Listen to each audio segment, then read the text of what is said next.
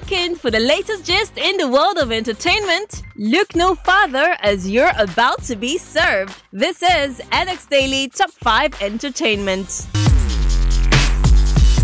At number 5, Moet Abebe says she is not a role model for your kids. Media personality Moet Abebe has made it clear she is no one's role model. According to the radio and TV host, parents are responsible for how their kids turn out, not celebrities. She made her stance known in a post on her Instagram story and of course Trust Naija. The post has however been greeted with mixed reactions.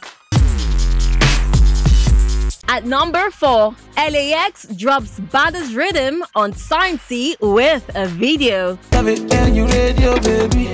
Love it when you whine it, whine it. Love it when you radio, baby. I'm so it the girls on any show. Eh. The song titled Sign Si is Yoruba and it means sign on it in English. The lyrics of the song basically portrays LAX as an uber rich and successful personer who meets a girl that he likes. Science sees a metaphor for endorsing his likeness for abstract female. The video was shot in what looks like a club and it features two cross sections performing choreography at different points of the video, which was all about vibing out in a party.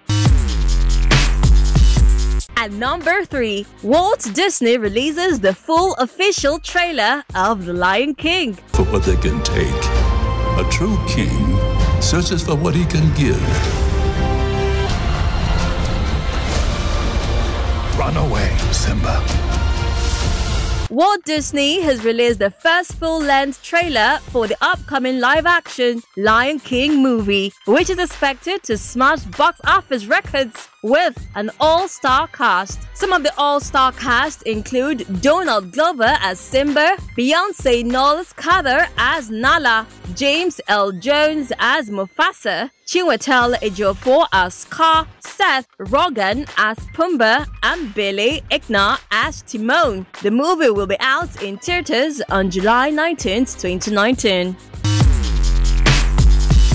At number 2, Harry and Meghan keeps mom on birth of their royal baby. Prince Harry and his pregnant wife Meghan, the Duchess of Sussex, has said in a public statement that they will keep news of their first baby's arrival into the world private. Kensington Palace officials said in a statement that Harry and Meghan look forward to sharing the news of their baby's birth once they have had a chance to celebrate as a new family. The decision means that Harry and Meghan are not likely to pose on the hospital steps with their newborn for assembled photographers and TV crews. This is, of course, a break from the royal tradition followed by Prince Williams and his wife Catherine, the Duchess of Cambridge when she gave birth to their three children. As a future king, William is expected to help mark great occasions, while Harry, sixth in line of succession, has more leeway, but both have in the past expressed deep misgivings about intrusive press coverage despite often courting the media's attention. At number 1, talk show host Wendy Williams set to divorce her husband of 25 years.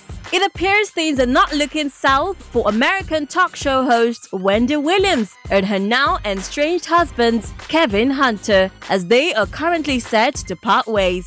According to reports, the TV show host has reportedly filed for a divorce from her producer and hubby, Kevin Hunter, following series of rumors about his affair with another woman by whom he has since fathered a child. Williams did not wear her wedding rings on a recent taping of her talk show. She has alternated between wearing it and going ringless in recent weeks. Despite the cheating rumors, many fans believed Wendy would stay with her husband, especially after she addressed the status of her relationship in early March, downplaying issues of any current infidelity, stating that her marriage was strong.